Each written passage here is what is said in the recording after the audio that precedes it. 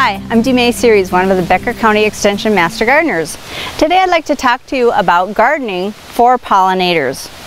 You've probably heard on the news that we're losing a lot of our bees and that without bees as pollinators we wouldn't have much food to eat. Pretty much all the seeds and nuts and fruits that we eat need pollinators. They need bees or other pollinators in order to reproduce. We think of uh, honeybees as the main pollinators. But as you can see on this graph, honeybees are very a very very small portion of what's actually available for pollinators. This chart shows all of the native bees that are in Minnesota. There are actually 425 kinds of different bees in Minnesota, including 23 species of just bumblebees. Many of the native bees do not live in a colony like honeybees do. They live by themselves.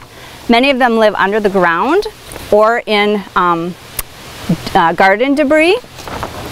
And most of them are solitary bees. They don't live in a group like honeybees.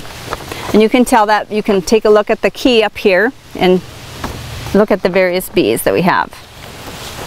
Native bees are the most important group of pollinators. And butterflies are also pollinators.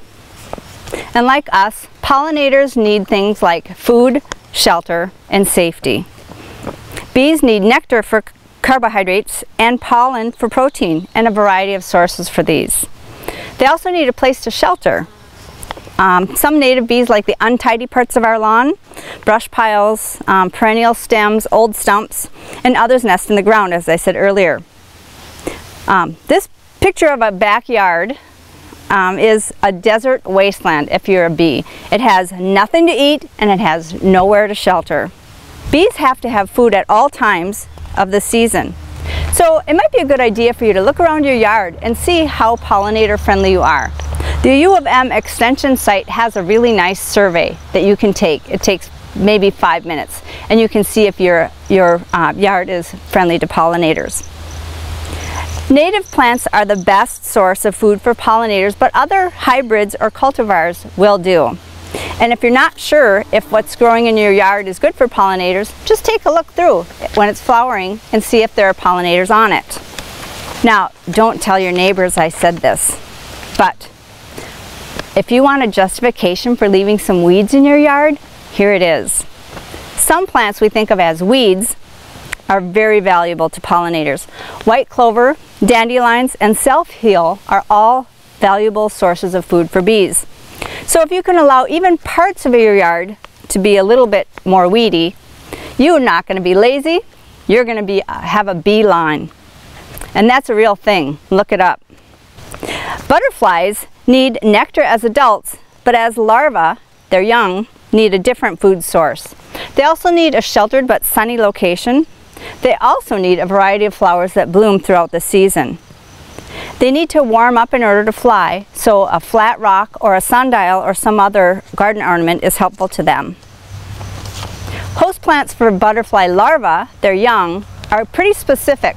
Monarchs larvae eat milkweed, as you've probably heard. Um, many species will use aspen or willow or spirea, so shrubs and trees can also be an important thing for um, butterflies, for pollinators. So here are four things you can do to help pollinators. Number one, limit your use of insecticides. Insecticides will often kill uh, butterflies and bees as much as the other insects that you want to kill. Even organic pesticides such as BT kill larvae of butterflies and moths. The second thing you can do is plant things that pollinators eat. Use at least some natives there are many lists available online and some of the lists, um, some of the links will be at the end of this session. Choose several colors of flowers and plant flowers in clumps and include flowers of different shapes. Have a diversity of plants that flower all season long. Number three, keep some shelter areas for them, as we talked about earlier, some untidy parts of your lawn. And number four, provide a water source such as a shallow dish with sand or water or a source of sugar water for butterflies. These are really basic things and again you can take that survey online and see how you fare for pollinators. Happy gardening. Thanks for tuning in.